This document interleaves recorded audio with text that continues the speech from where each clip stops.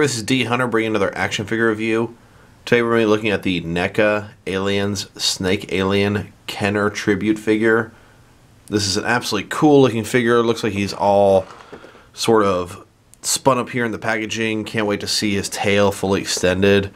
I actually never had the Snake Alien Kenner figure as a kid. It was one of the later waves after I already had and was sort of done with that line. You may notice here have two of these figures. You can never have too many xenomorphs. I have to get at least two of every alien, if not more. So let's go ahead and check out the packaging of this guy. First of all, you can see the Aliens movie logo, just like the Kenner toys. They were sort of movie themed, even though they took their own sort of liberties with the figures.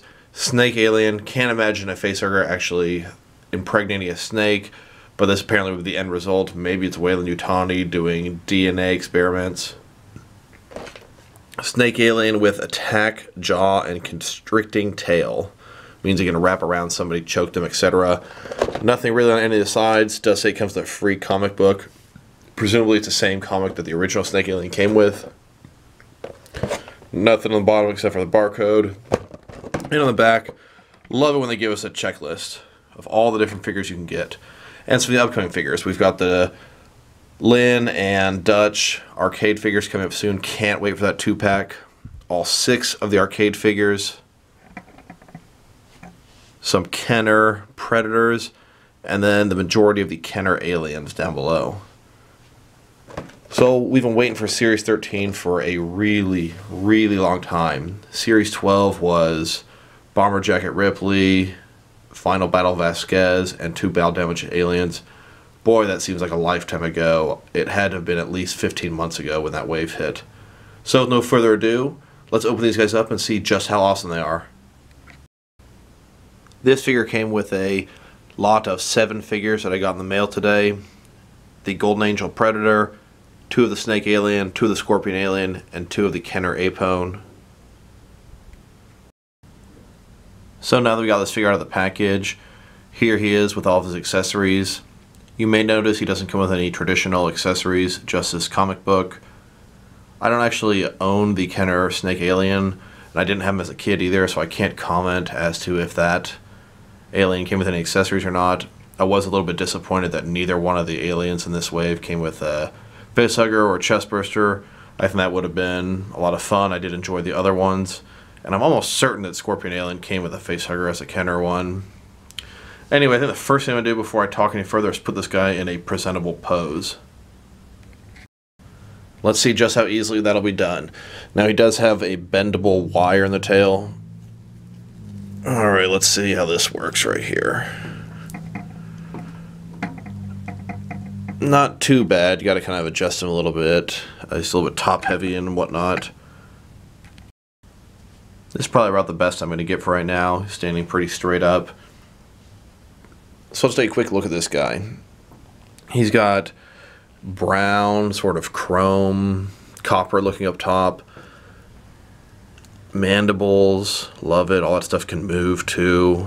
Mouth comes out. Green on the inside. Like I said, I don't have the original one to compare him to, and I wish I did, but I didn't have his kid either, so just looks really nice so far. Can't wait to check out everything this guy can do. And then, of course, he comes with a comic. This is number nine. This is going in a series of comics that the original Kenner Aliens came with. They are sort of to be continued and have all the sort of figures featuring in adventure stories. And here's the comic compared to all the different NECA Kenner homage comics that we've received. We now have 2, 3, 4, 9, 10, 11. I'm definitely under the impression that Kenner, or NECA rather, is going to try to get to all the Kenner stuff ever made over the next many, many years. Next, let's check out the height of this figure. So this figure here that's kind of wrapped up and standing on his own is measuring just about about 9.25 inches tall.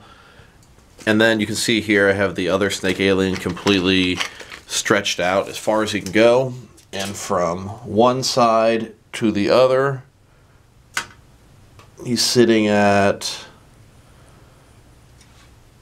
20 and a half inches.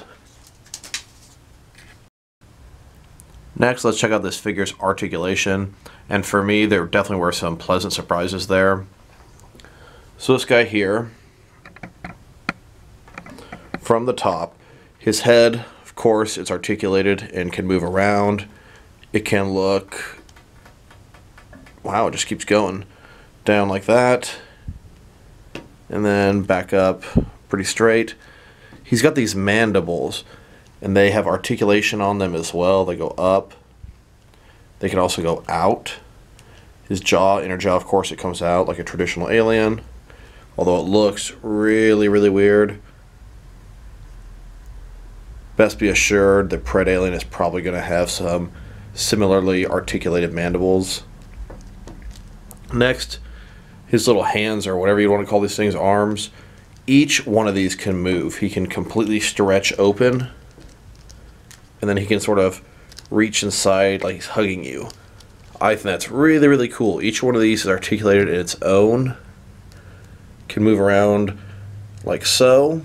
They can go inward when they're facing this direction, and if you have them facing like this, and they can go upward. So they have sort of they can move this way, and they also have a hinge that goes inside. He's got a joint right here where the tail can move and of course, the tail itself is on a wire and it's completely bendable.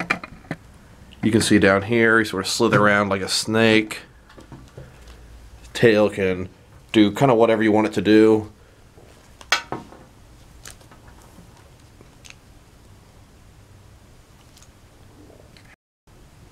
Next, I thought to myself, I wonder if there's any reuse from previous Alien figures.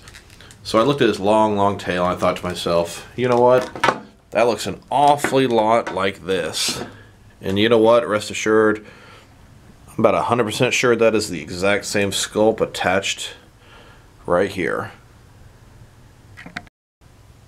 Next here he is compared with the rest of this Alien Wave Series 13. It has been a really long time since Series 12 came out, well over a year. I'm happy we're finally back on track. Here he is with my entire Kenner Aliens collection of Aliens figures. You can see we've got two gorillas here. There's a mantis here and back here. We've got two of these light blue big chaps that Kenner made many years ago. A black big chap. This is from an Alien vs. Predator Kenner two-pack.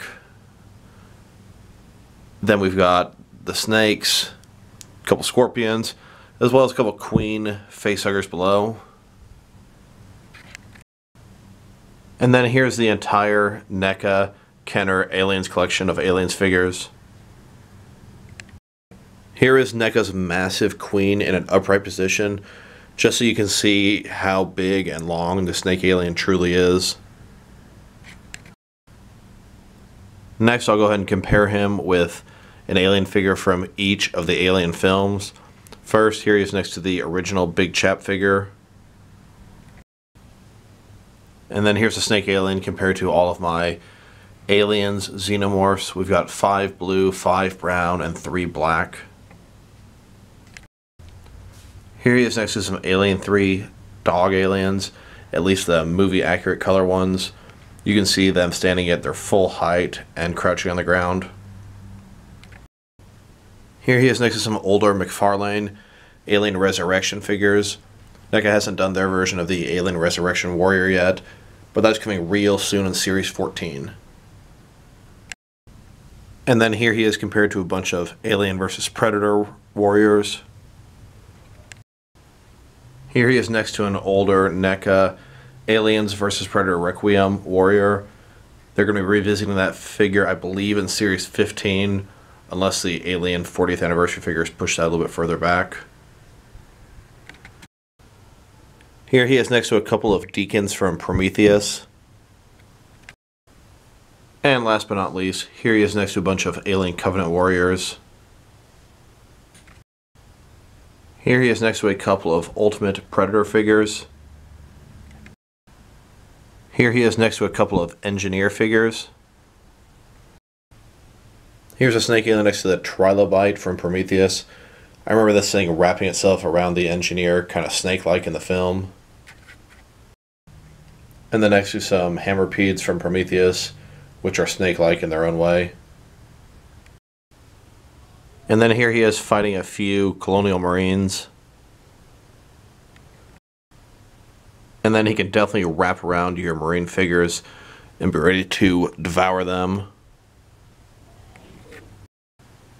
Here he is doing his thing, eating the remains of some marine.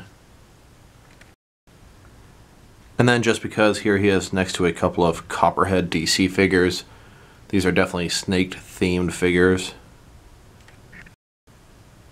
All in all, I must say I'm very pleased with this figure. A lot more than I expected to be.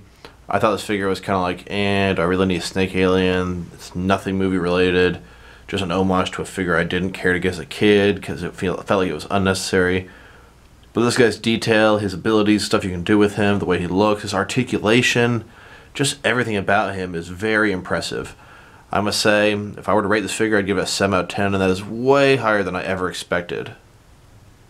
So, this is D Hunter. Thank you for watching this video. If you liked the video, press like below.